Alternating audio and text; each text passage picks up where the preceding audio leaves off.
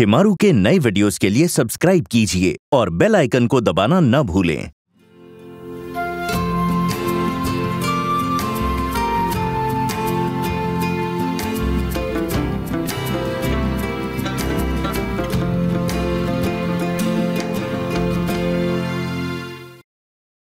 जब मैंने आधे को चुराया था तो उसके गले में ये था।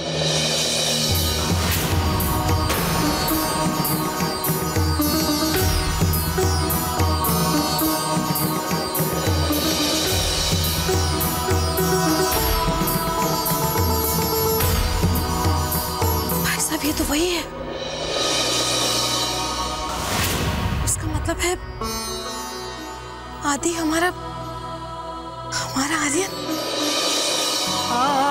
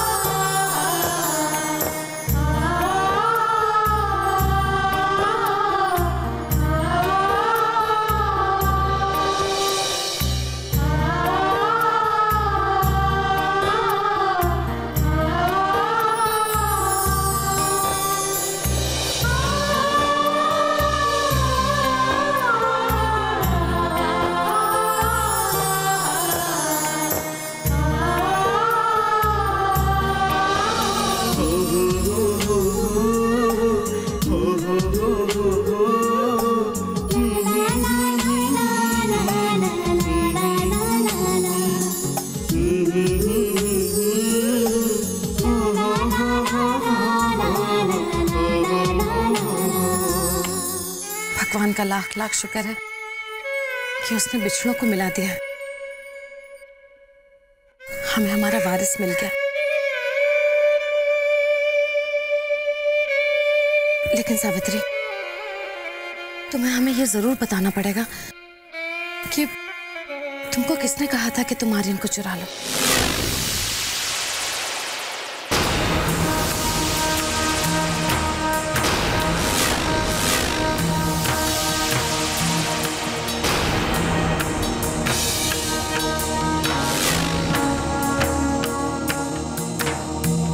सावित्री ध्यान रहे। कुछ भी बोलने से पहले याद रखना कि जो काम्या इस परिवार की दोषी है जिसने इस परिवार से उसकी खुशियाँ छीन ली हैं आज परी उसी काम्या की बहू है। तेरा ये सच कहीं परी की हंसती खेलती ज़िंदगी बर्बाद न कर दे।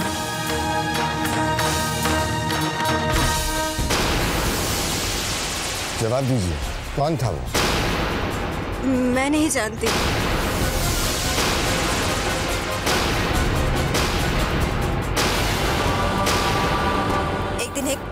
नकाबपोश आदमी आया था। मुझे पैसे और काम सौंप कर चला गया। आप लोग आदि को ले जाइए।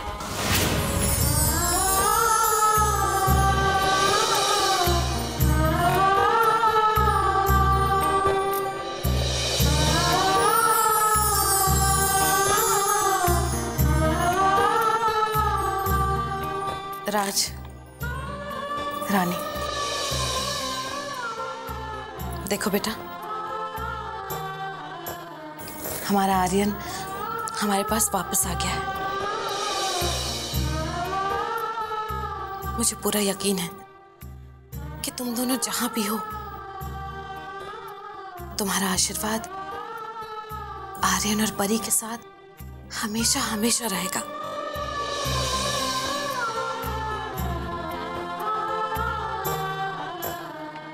भगवान ने इतने सालों के बाद रिश्तों की कड़ियाँ दोबारा से जुड़ी हैं।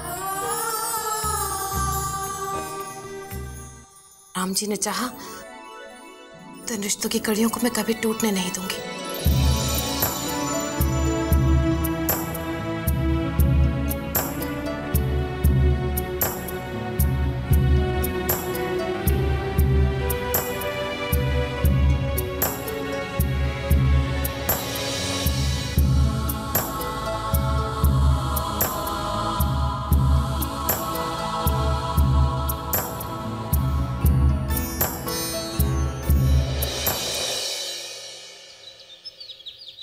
आइए भैया, ये देखिए, ये आपकी अलमारी।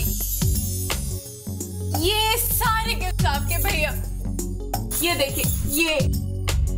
भैया, आपके हर बर्थडे पे मैं एक नया गिफ्ट खरीदा करती थी। ये देखिए।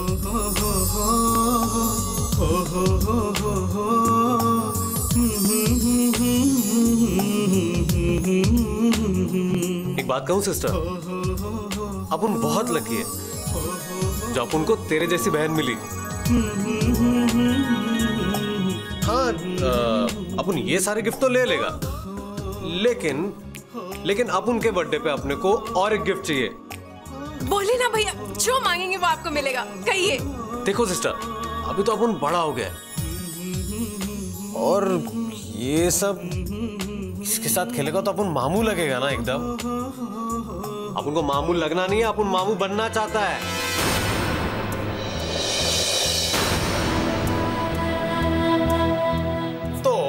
अपन अपने भांजा भांजी के साथ इस टॉय से खेलेगा। क्यों? परी परी खुशी। हमारे आर्यन भैया भैया दादू ने हमें बताया था। हमारे भैया से तो मिलने आए हैं। भैया मैं कितनी खुश हूँ कि आप वापस आ गए।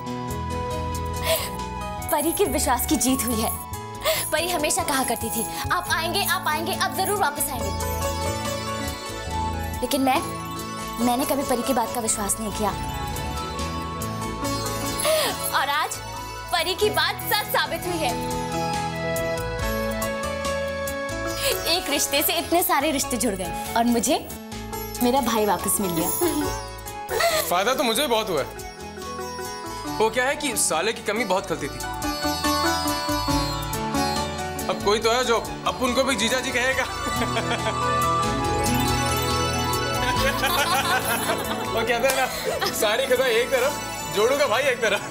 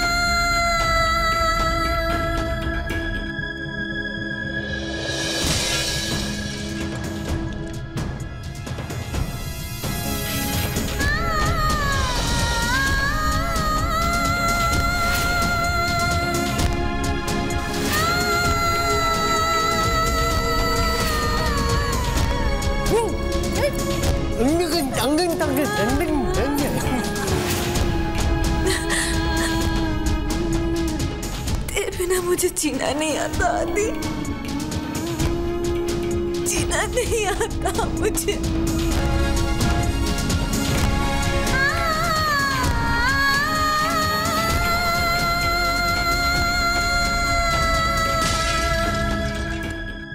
मैं अभी सौम्य को फ़ोन करके बताती हूँ कि आदि भैया से मिलने यहीं चले आए। हम सब साथ में खाना खाएँगे।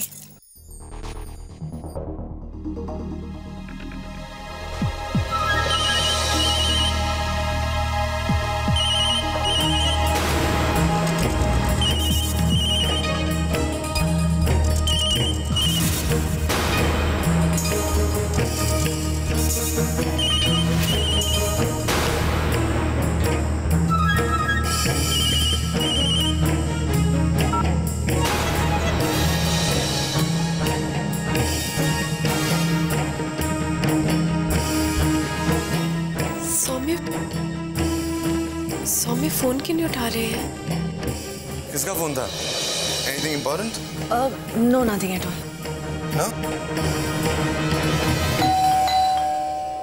बैठो बैठो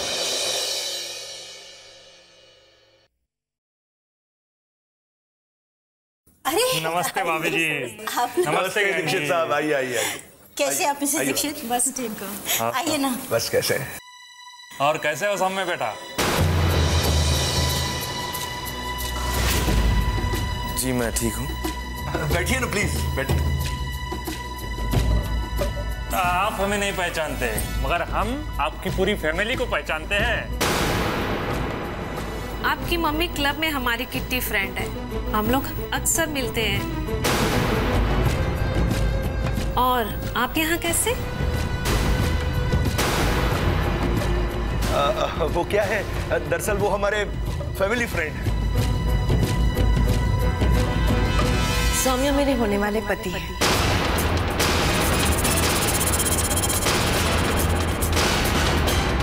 बहुत जल्दी हमारी शादी होने वाली है। शादी? पर अभी अभी तो इनकी नई नई शादी हुई है।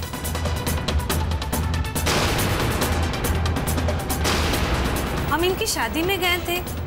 बहुत सुंदर भी, भी है इनकी।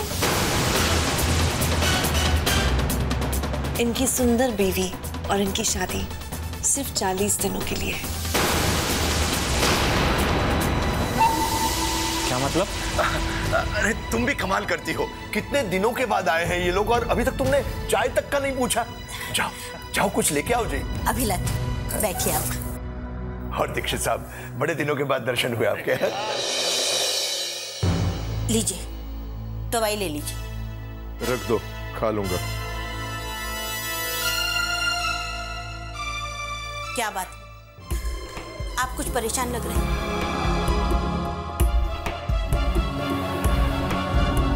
संजना को इस तरह नहीं बोलना चाहिए था। अरे, कितना वक्त है अभी ये संबंध जुड़ने में। इस तरह ढिंढोरा पीटना बिल्कुल ठीक नहीं है। और कल को दीक्षित साहब किसी को कह देंगे तो कितने सवाल कर रहे थे वो मुझसे। तो मैं जानता हूँ कैसे मैंने उन्हें समझाया। आप भी ना, बिना सोचे समझे कुछ भी कह देते हैं कभी भी अपने अक्ल का इस्तेमाल करते ही नहीं। ये तो आप भी अच्छी तरह से जानते हैं और मैं भी, कि परी उस घर में सिर्फ़ चालीस दिनों की मेहमान है। उसके बाद हमारी संजना ही उस घर की बहू बनेगी। ये बात तय है। ऐसे लोगों से क्या घबराना? और फिर ये सच्चाई तो कभी ना कभी सामने आएगी ही ना। चलिए अब गोली ले लीजिए।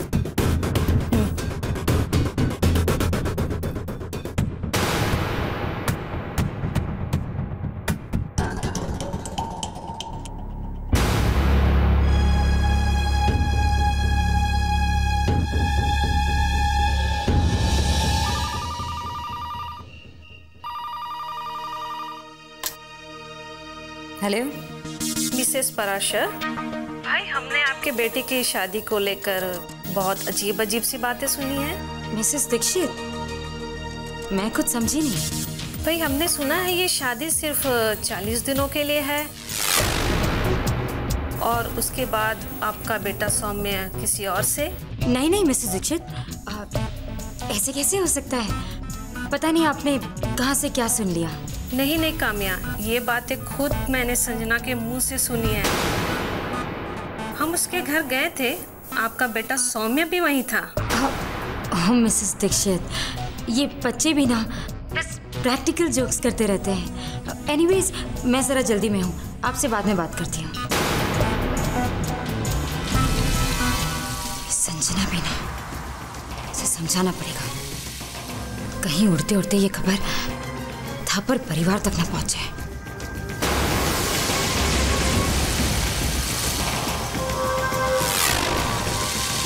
तुम अपनी टेक केयर करना हाँ? और अच्छा बाय बाय है और सी यू है और फिर ओके है। अच्छा हम्म। क्या हुआ सेठानी जी? आप किस गहरी सोच में हैं? कुछ नहीं। परी का है। हमको का पता कहाँ है? हमको बता के थोड़े ना गई थी।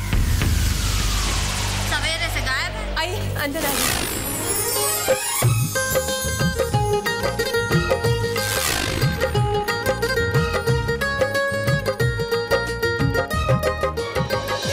रानी जी ये सब का है?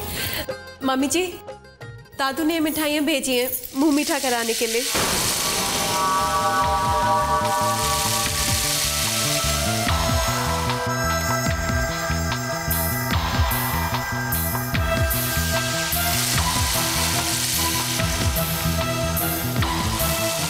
ऐसी कौन सी खुशी की बात है? आज का दिन दादू तानी माँ दादी, मेरे लिए, हम सब के लिए ऐसी खुशी लेके आए हैं, जो बरसों पहले किस्मत ने हमसे छीन ली थी। आज के दिन, मेरे दादू को उनका पोता। मुझे, मेरा खोया हुआ भाई। और और थापर परिवार को उनका खोया हुआ चिराग मिल गया।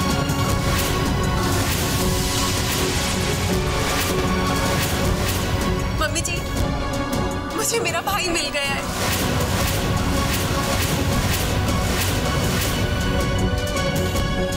क्या? आई I मीन mean, कौन है वो? याद है मम्मी जी शादी में आप उनसे मिली थी? आदित्य भैया।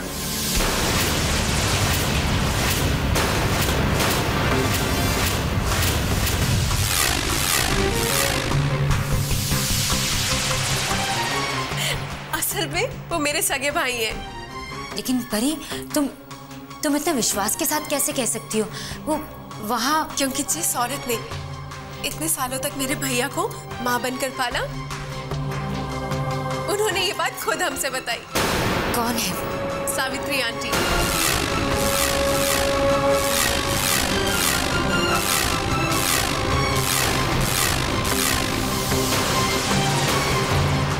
नहीं विश्वास हो रहा ना? पहले हमें भी विश्वास नहीं हो रहा था। आदि भैया, हम सबकी ज़िंदगी का एक हिस्सा ही नहीं, बल्कि एक बहुत प्यारा सच भी है।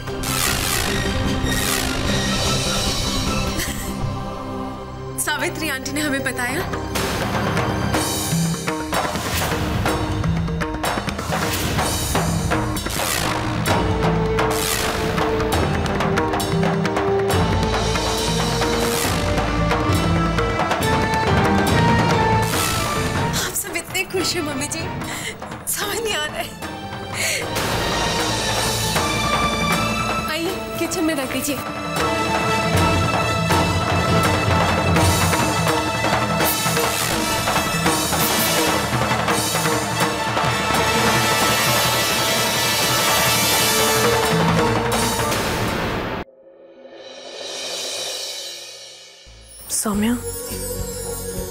बात पूछूँ?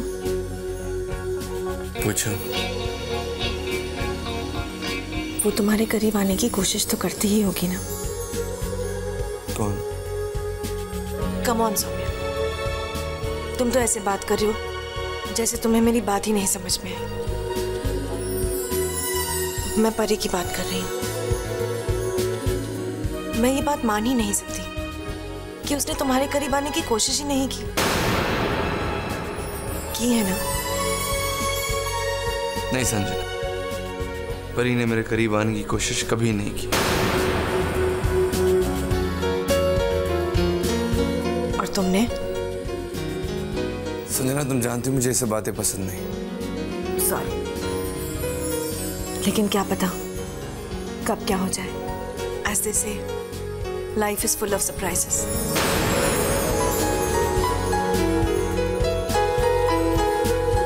मैं तुम्हारे लिए खाने के लिए कुछ ले आती हूँ।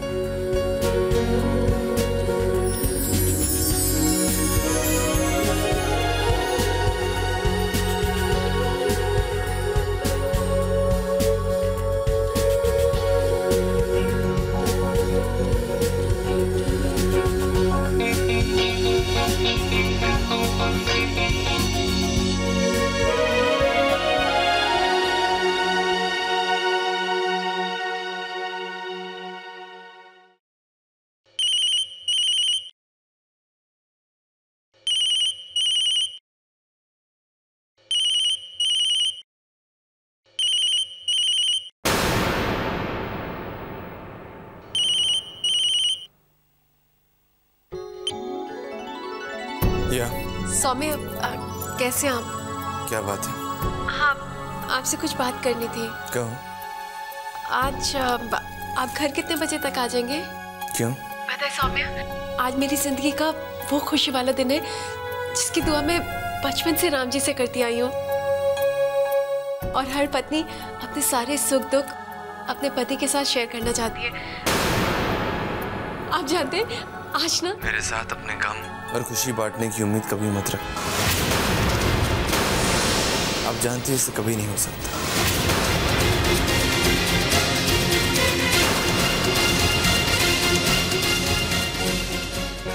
That was so nice of you, Sonia. Thank you so much.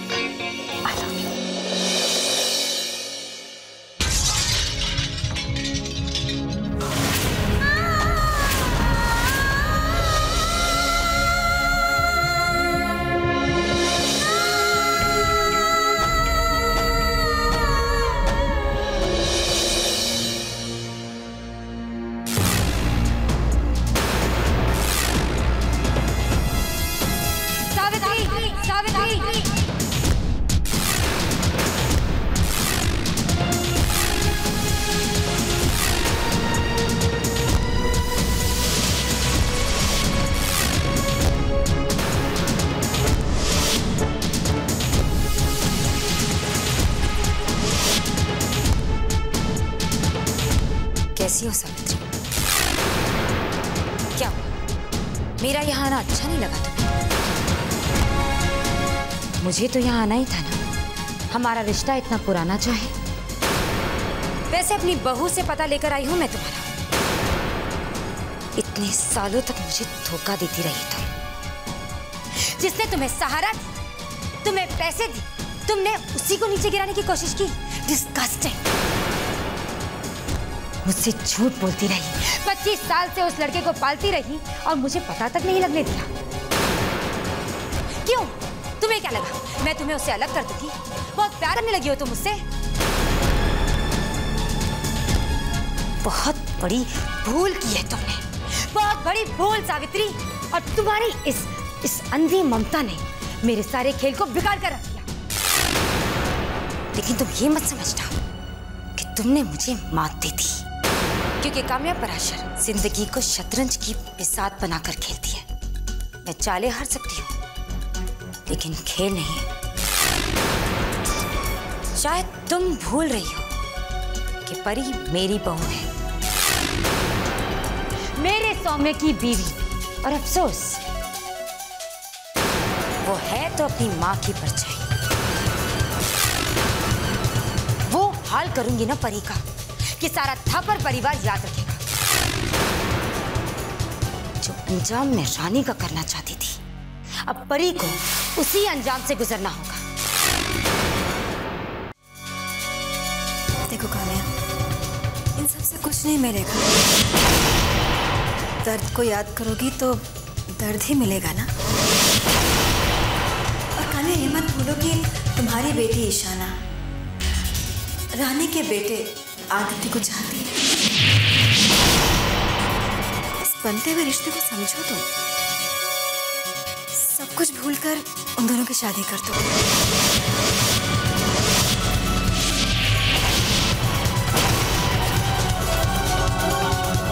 झगड़े और बदले से कभी किसी का फ़ायदा नहीं हुआ है ना? मुझे तुम्हारी इस दो कौड़ी की सीख की कोई ज़रूरत नहीं है। खामिया अभी भी समय है। मौका है तुम्हारे पास। सुधर जाओ। अच्छाई के रास्ते पर चलकर मैं बहुत खुश हूँ। बहुत सुकून से हूँ मैं। तुम्हारे पास भी मौका है, क्योंकि मैंने किसी को बताया नहीं है कि आदित्य को थापर परिवार से अलग करने वाली तुम हो।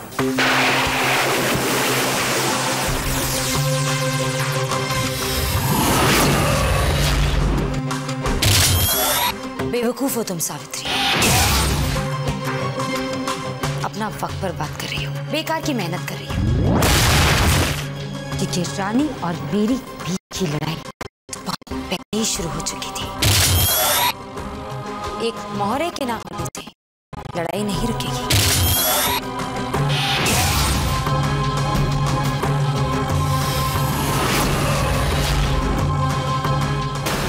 एक मोहरे के ना होने से लड़ाई नहीं रुकेगी।